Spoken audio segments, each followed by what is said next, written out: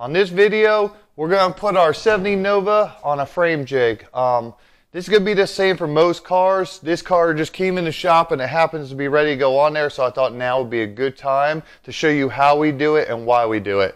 The car looks like it's in really good shape. I mean, minus the obvious little bit of rust there, but realistically, I think the only thing, if I remember right, we're keeping a whole back end of this car is the frame rails. It's getting new floor pans, pretty much front all the way to the trunk pan. It's getting the extensions going down, and um, it's also getting inner and outer wheel wells, I believe. So a project like this, if you cut it apart, things are going to want to shift. Since we know the frame rails are straight, this car's in a good, uh, good shape that way structurally and it's never been wrecked, we want to hold the pieces that we're keeping in place and that's the point of frame jig. So here's a frame jig we're going to be using. Actually, a car's never been on this. I just built it. Um, basically, there's no set in stone. This is how you have to build it. I got this metal from uh, used from somewhere um, that was used as a shipping crate, an industrial company, and it's uh, I think it's five inches by 11 inches I-beam, and uh, it's 516 thick. And then they also came with these crossbars, and I actually bought uh, 22 feet beams and cut them in half to two frame jigs. And then what I like to do, I weld it up, we squared it both ways. What you care about, this is your reference point. So take your time and make sure all this is square. It's obviously not going to be completely level. I did build it on a level surface, and what I did, I have it where it can roll around the garage, and then if you zoom in here, what I decided to do was I put um, their race car weight jack bolts for like a circle track car. So you got the adjuster there, and there's got these pads that came off the scrap of that. And what you're gonna do, we'll take a, a socket and we'll screw these down.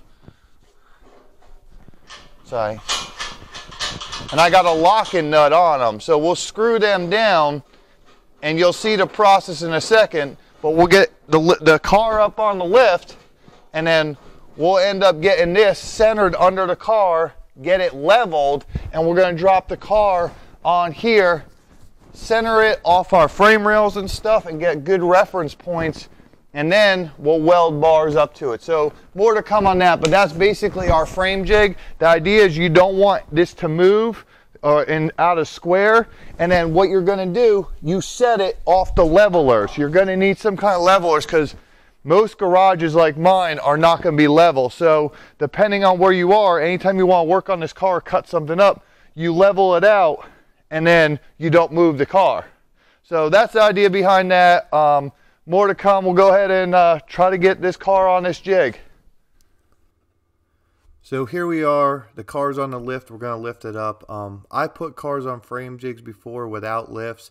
It's a huge pain in the butt, but it can be done. So getting them higher is a little bit harder. You might have to work with a smaller um, I-beam or something a little bit lower to the ground or just be creative and walk them up for a little bit. But we got the lift up in the air enough that's going to clear the frame jig. We'll go out, we're going to roll the frame jig in um, and get it as close as we can centered up under this Nova. You could see this uh, frame jig here is actually really heavy. Even with the wheels, the casters it's on, it's still, you got to kind of get them pointed in the right direction to make it roll pretty easy. Um, so now we're going to lower the car, um, get it even closer to being centered. This is a whole process, but if you're doing a big project like this car and you're taking off quarters, trunks, the floor pans, you know, take the time. I mean, spend the hours it takes and just do this part right. What I'm trying to do now, I'm getting jack stands under the rear end and we're going to put the car down on level jack stands. This uh, cantilever lift will not be level at all. There's no way how it's designed that it's going to go down straight. So we need to get jack stands to bring it down where the car settled straight. And you could see as soon as it lowers on the car, it kind of twists and turns a little bit. So we're just going by adjusting them. Um, and then what we're doing now, I was telling you, we're raising the levers, the uh, screw jacks on the, the frame jig to lift it up towards the car and get it at the height we want and get our small adjustments this way. I'm a fan of putting these frame jigs on a weight jack bolt or a, a trailer jack or something that you can adjust up and down. Um, to me, you're never going to get it really level and adjusted right um, unless you do it this way, and it just makes life so much easier.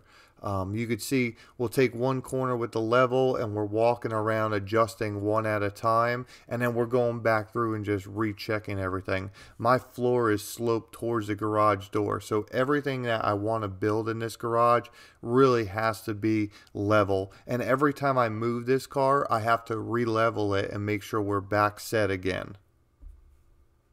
On these adjusters, I have 11 inch weight jack screws, so I got plenty of adjustment to move this thing wherever I want.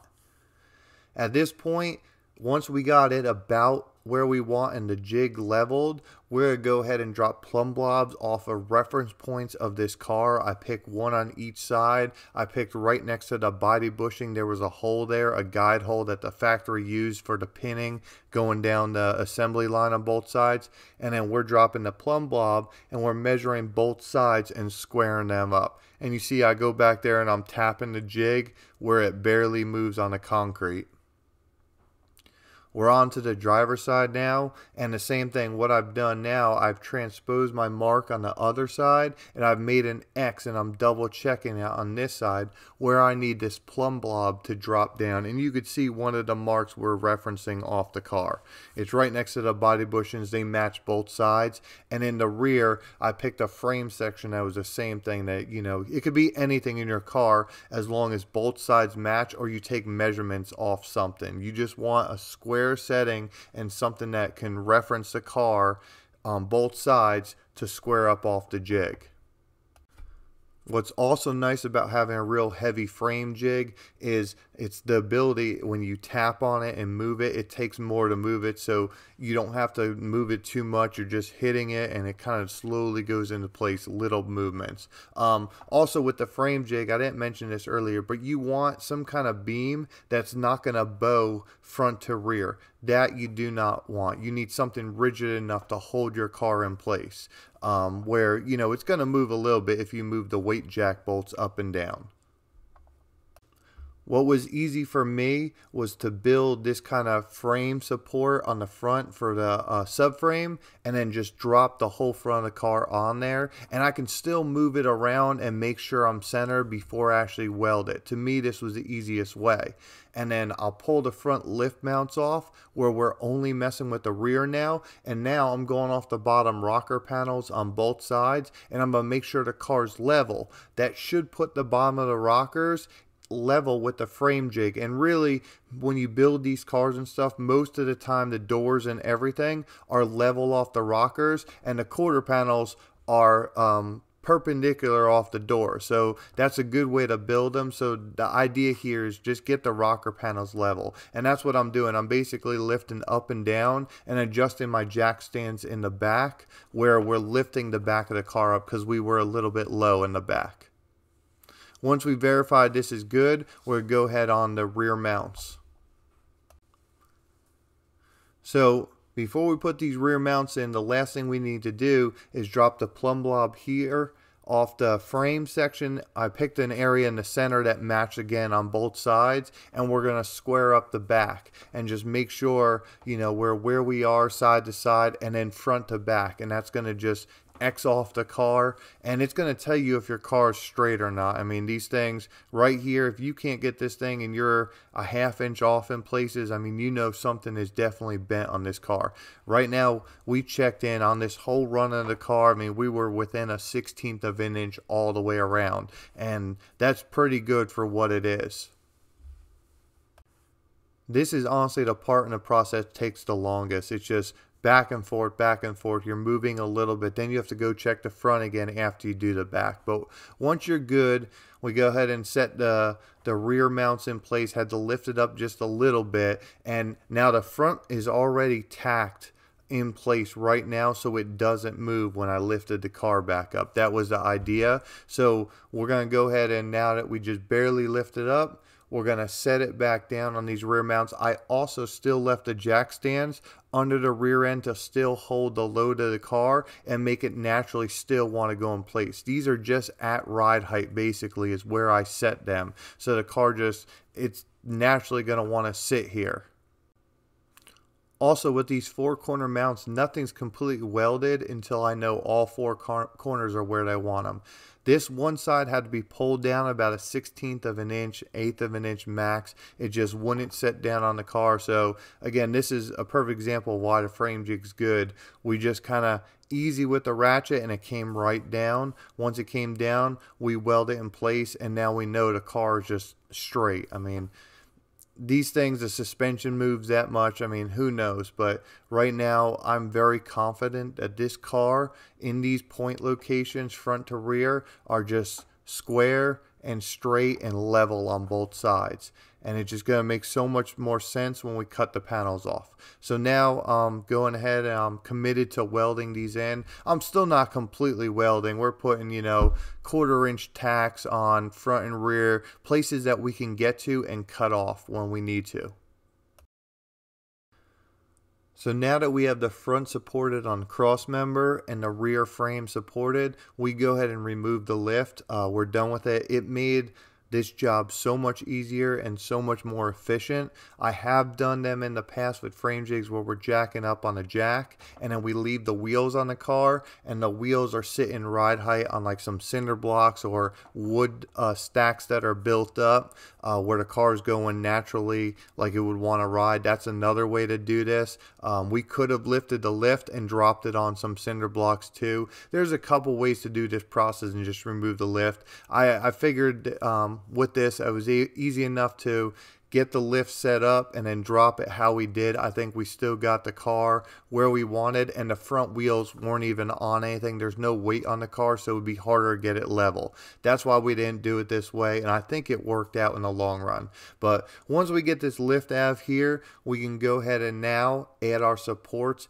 to the other areas of the cars we plan on cutting apart and uh, removing that we want to stiffen up and make sure it doesn't bend.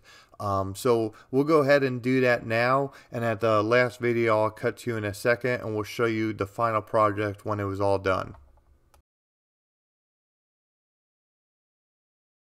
So we got the Nova up on the frame jig. It's mounted good and everything. Um, good sign right here.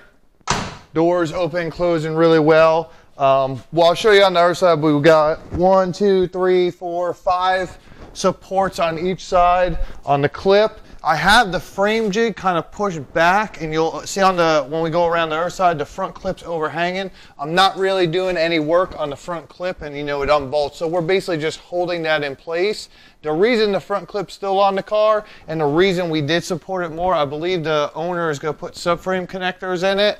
So I'm not sure what style we're going with yet or what they offer for Novas, but that's why it's also on there because it will be permanently attached. So let's look at a couple things and why we put it on the frame jig. As you can see, we're going to do a full one-piece trunk, and on these Novas, the trunk goes the whole way around. So we're removing a lot of stuff along with the quarter panels, this whole tail panel that everything's coming off. So if you look down here at what we did, I finally got the, um, I got the support. I had most of the weight on the rear axle while we were mocking this up to get it naturally sitting where it wants. And then we did, you saw we did these mounts first in the back. And then I went and I did the frame mounts. Now, what size we're using. This was scrap metal laying around. Actually, all this is scrap metal laying around. So that's why it kind of looks, we have random pieces coming off. If you want to spend the time, buy some metal, go for it. I got tons of these things from other projects around. I'm about eighth inch. I use a lot of square tubing, eighth inch round bar, just stuff like that, and then cutting it to length. Also, these brackets side by side, should be the same. Same measurements, that goes front to rear. We squared it up, and obviously the car, if it's square, you saw we had to pull this corner down probably an eighth, sixteenth of an inch. That's natural. We know our jigs level and everything else, so that little bit, it's gonna happen, but that's where we want this car to sit while we're working on it. So let's take a look around the other side and what we did. So I said we got these back mounts, which you saw over there. After I did I first, before I did the back mount, you saw I built this basically this box right here running across, and this is what we set the clip on initially and squared it off there, and then we went to the back mount um, and we dropped it on the axle. So we're basically we're putting all our weight here and on the rear springs. And then that made the car naturally want to sit in a place. And then I didn't weld this up till we got the rear squared off the front too. Then after the front and rear welded, I just worked my way back. There's a frame piece under right here. I put one of those that was 11 inches. It doesn't matter. I mean, your heights on these things aren't going to matter. I like to keep my cars a little bit higher so I can get up under there and work. But whatever you're comfortable, I'm also a taller person, so I like to work on the cars higher. And I also can adjust this up and down. I go higher and lower with my screw jack. So right now, actually, we'll probably raise it up a little bit more when we work on the floor so I'm not hunched over at all. I'm almost standing up. Um, so saying that, this frame piece on the other side is also 11 inches. I also went to the uh, front spring perch and that was 10 inches there. And what I'm doing, I'm not pulling any parts of these cars down, not hammering these in. When they go in, they just fit in. And I even leave a little 16th inch of a gap and I'll weld those up just so I know it's not pushing on the car. And mostly these are for just holding everything in place when we do start cutting parts apart. Same thing right here. These two aren't matched, but basically I had scrap pieces and I'm just I angle cut it and then I mount I weld it on my cross pieces. They're close. It doesn't these don't have to be perfect. I mean, it was kind of put in place and just do what you got. But um so then I'm going to show you also last thing, these are why we're doing full floor pans. You see some of the work in this. Um, so this is going to be a whole one piece pan front to rear. Basically, the whole bottom of this car is being cut out. That's why something like this has to be done on a frame jig. It's just, to me, you can't do it on, you can do it on rotisserie, but I feel you're gonna mess your car up. It's never gonna go back in place. We leveled the car off the frame jig, so now, and it's all supported in place. So when we cut everything apart and we put it back together, it should be identical to this. Um, we're going to also verify a couple measurements that the owner wants. He obviously drag races this car or did in the past. I don't think he is in the future, but um, one way or another, it's still going to have that drag racing flavor. Um, stay tuned. We're going to do, like I said, a bunch of work on this car in the future. It's supported. It's ready to go. Um, hopefully this helps. If you have a car that needs a lot of work, this is what I recommend. Get some scrap metal uh, build a frame jig. You could look actually right here too. Your frame jig doesn't have to be huge. We did the Barracuda on this frame jig, and I believe that's only a five and a half inch I-beam. Um, you could do square metal, just something that you can level out and it's not going to move when you start pulling and prying on the car. Um, I like obviously thicker is better, but then you have the counter option of moving it around. So um, just see what you can find. Like I said, I, I, I, did find some used metal and I got a great deal on it. So that's why we went with the I-beams under this car. Um, hopefully this helps for you mounting your a frame jig. A lot of people probably going to ask, why don't we just bolt them into places on the car? It would be easier. To me, yeah, it would be easier. It's more time consuming making the brackets. For me, it's easier to just weld wherever we want on the car, not worry about bolt holes. And we'll just go through and cut them off and clean up the edges when we're done. So hopefully that answers most of the question on frame jigs and getting a good base to start your project. Uh, I think we're going to do another video with the Challenger in a, a, week or so, and we're going to have to put that one on a frame jig too because the front clip's all wrecked out. So we're going to show you how we're going to do a car that's wrecked on a frame jig next, I think. But um, hopefully this helped you out. If it did, uh, comment, like, subscribe to our channel, and uh, we'll see you on the next video. Thank you.